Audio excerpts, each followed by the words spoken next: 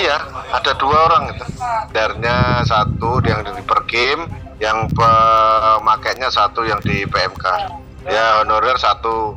Bagian umum di Pemkot ya bagian umum Pemkot pelakunya ya ada tiga aja yang terindik yang ano ada kaitannya ke bandar ada tiga. Cuma PNS nya satu aja.